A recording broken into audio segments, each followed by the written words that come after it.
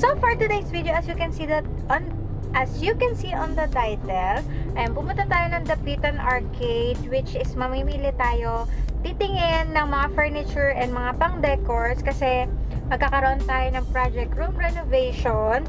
And sabi kasi ng friend ko na si Clay, pupuntahan natin si Clay, pupuntahan natin siya mamaya. And ayun, sasamahan niya tayo kasi I'm not familiar dun sa area. Dun daw makakakita ng super mura. Not in Divisoria but in the Pitan Arcade. So ayan, may mga mura din sa Divisoria but they said doon mas kompleto and mas mura. So ayun, let's see kung anong makikita natin later. Samahan niyo ako!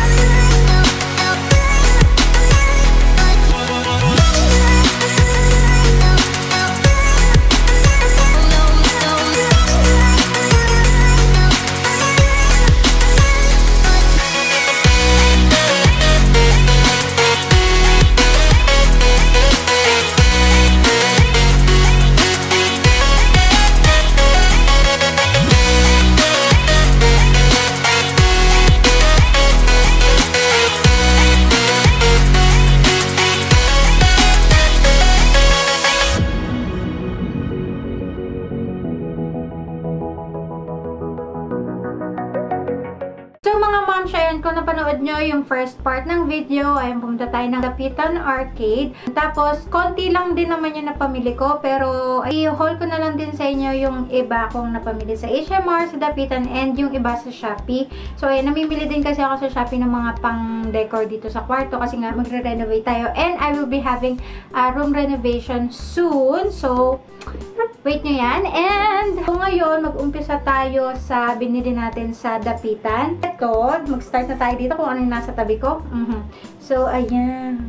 Mhm. O, diba? Bongga. So, ito, gold lang siya. Ang tagal ko na naghahanap nito. I mean, may nakikita ako kasi sa Shopee, kaya lang, namamahalan ako. Or, ewan ko, basta, ayan. So, ayan, binili ko na siya. Tapos, ito, may lalagyan siya na parang kandila.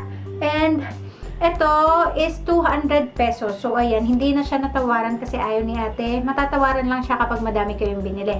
But, ito, ito lang naman din yung kailangan ko. So, ayan. Tapos, dun sa same store, ito naman, basket naman siya na mesh. So, gold din. Ito naman, it's either 280 or 300 to. So, I'm not sure. Pero, yon Mhm, Basta between that two lang. Tapos, so next naman, ito. Mhm, ayan, tunay yan. So, nice. This is 50 pesos only yung halaman. Tapos, itong lalagyan, ang plano ko dyan, pipaintan ko yan ng gold. Kasi wala akong mahanap na may accent na gold.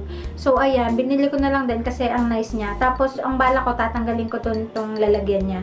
So, para kitang-kita yung loob and may effect-effect. And, ayun. So, total nitong dalawa is 100 pesos. So, next naman, mm -hmm, tanan! So, ayan. Ito, peke naman to. Kasi, ayan, wala lang. Gusto ko lang isang piraso para may accent-accent ako ganyan sa ibang mga parte ng aking kwarto. Ayan, medyo mahaba to. Binawasan ko lang. So, ito is 70 pesos. Tapos, bumili ako ng base niya. Ito naman. Mm o, diba? May iba-iba yan na. Linagyan ng asawa ko. So, ito is 50 pesos din. Tapos, ayan, clear lang siya, nababasagin. Tapos, dito ko siya ilalagay. And bala ko lagyan na lang din ng pebbles. Hindi ako nakabili. And, ayun, so nice. Diba? 70 pesos. and 50 pesos. Ay, hindi. Wait lang. 70 pesos pala yun yung vase. Mm 70 pesos. So, next naman, ayan, itong nasa tabi ko, mm -hmm, medyo malaki. Itong ratan, hindi ko na tinanggal yung alaman. So, ayan, ratan siya. Mm -hmm.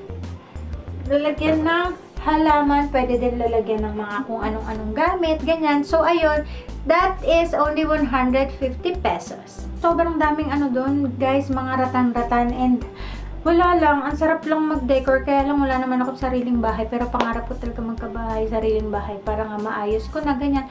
Tsaka, ewan ko, basta soon, sana magkaroon tayo nun. And, ayun, So, next naman, ayan, ito, hindi to sa dapitan, sa SM to, pero i-haul ko na rin. Ito, so nice niya, ba diba? Ito naman, peke to. Mm -hmm. So, ayan o. Oh. Bala kong tanggalin yan, ang gusto ko lang talaga itong lalagyan, kasi ang mura niya. Nung tumitingin ako sa Shopee nito, yung cost niya is 500 plus, ganyan. Tapos, basta sobrang mahal. Eh, ito, nung time na yon napunta kami ng SM, nakasale siya sa ano ba to sa Manila, sa SM Lazaro. 250 na lang siya nung nabili ko. So nice. Tapos ito, bala ko gawin din siyang gold para pumartner naman siya dun sa ibang lagyan. O, diba? Pero maganda din yung black actually. Para siyang, ayan mo, para siyang naka drawing lang, 'di ba? Ang ganda ng effect. Anyway, tapos ito ano to, cement. Ayan, cement siya. Tapos ayan, hindi siya white, gray. So nice. 250 pesos. So, let's proceed sa HMR. So, ito, ang nabili ko lang doon, 3 items, dalawang sapatos. So, ayan, itong unang sapatos, tanan, so nice. Ang ganda, ba? Parang, wala lang. Ang lakas lang maka, you know, K-pop. Mm -hmm. K-pop pangit. Charot. So, ayan, ba? Tapos, ayan. Tapos, may presyo pa siya. Guys, this is only 350 pesos. Ay, excuse me. So, ayan, grabe, sobrang ganda nito. Wala lang. Tapos, ang maganda pa nun, sobrang comfy niya. As in, sobrang comfortable niyang isuot. Ang lambot-lambot ng loob niya. So, ah, kahit matagal mo siyang suotin is okay lang. Kasi nga, comfortable siya. So, next naman, itong, ayan, itong slippers na to. So nice. And, ayan, velvet lang yung, ano ba, ang tag dito? Yung tela niya. Ganyan. Tapos, ang ano ba to? Ang price ito is 250. Tapos guys, ewan ko ba, pinagsisiyan ko yata tinanggal ko yung presyo nito kasi tingnan nyo nangyari. Tingnan nyo nangyari. Asan na ba? Ayan, di makita. Natuklap yung pinaka, ano niya, yung pinakaswela. Ang tawag nga dito, Star? Basta yung tapakan niya. Ayan, natuklap na siya. O, di ba? Na maalam na. So, dapat pala hindi ko na lang tinanggal. Tapos, Nilagyan ko ng, ng, hindi ko ba alam. So, next one, ito. O, diba? Bongga. So, ayan. Lamp lang siya. May mga ibang size nito. May mga maliit ako nakita. Pero ito kasi, nakikita ko to sa mga Pinterest. So, mga, yung sa mga, basta ganun, pag nagsasearch ako ng mga pang decor, um, sobrang mura niya. 300, ay, 350. So, dun sa Shopee, sobrang mahal niya. Like, 1,300, mga ganun yung presyo niya. Pero ito, nabili ko siya ng 799, so 800, ayan. So, ayun. Tapos, ayan, wala naman siyang kasamang lampa. So, bibili pa ako ng ilaw. Pero, okay na. Kasi, super nice. So, next naman, ito, mm, nasa tabi ko. Sana, papakita ko na lang sa inyo, hindi pala kita. So, ayan. Basta ito yung ano, ano tawag dito, yung clothes rack. So, ayan. Nabili ko to sa Shopee na 290 pesos only. So, ayan. Ito kasi bala ko gawin tong decor, eh decor. Ibala ko siyang gawing background kapag gumagawa ako ng fashion haul sa inyo or fashion video. So, ayan, para you know, para masaya tayong lahat. So, anyway. Tapos, next naman is etong nasa likod ko. Kaya lang hindi kita. Dapat kasi, etong mga maliliit na to, kita ba? Wait lang. Hinaan ko yung camera. Ay, yung ilaw. So, ayan. Kung mapapansin nyo, yung mga maliliit na kumikitap-kitap, ayan. LED to, yung parang string lights. So, pa-curtain siya. So, ayan. Hindi, pinatungan ko siya ulit siya. Era Pita, pinatungan ko siya ulit ng Christmas light, yung regular na Christmas light. Kasi hindi siya kita kapag nag, uh, ano, pag liniwanagan ko yung ilaw. So, ayan. So, ayun, sayang naman. Pero, ipang decor ko na lang siya sa iba. Binili ko to kasi nga, parang string light na siya. Eh, parang curtain lights na siya. Sayang hindi lang kita kapag nakabukas yung ilaw. So, ito naman, nabili ko ng 359, so 360. Sa iba kasi, um, benta nila is 400 uh, 50 plus. Mura na din yung nakuha ko. So, next naman, itong foam bricks. Bumili na lang din ako ng dalawa kasi kulang pa dun sa wall ko. So, ayan, pandagdag lang to.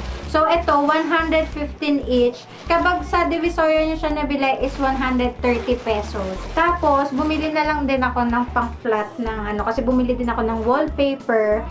This is 35 pesos. Para lang kapag naglagay ako ng wallpaper sa sa dingding, magiging flat siya. So, ayun lang guys. Yun lang naman ang ating pinamili. Very konti pa siya. Pero, uh, soon, ayan, kapag na, namili na kami ng tuluyan talaga, yung totoong-totoo na. So, ayan, magkakaroon tayo ng huge uh, furniture chorba. So, anyways, ayun, hope you like this video. Kung hindi ka pa nakasubscribe, mag-subscribe ka na. And follow me on Instagram at Maylin May. And click the bell button para ma-notify ka whenever I upload videos like this. Again and again, I'm Maylin Rivera. I'll see you on my next one. Bye!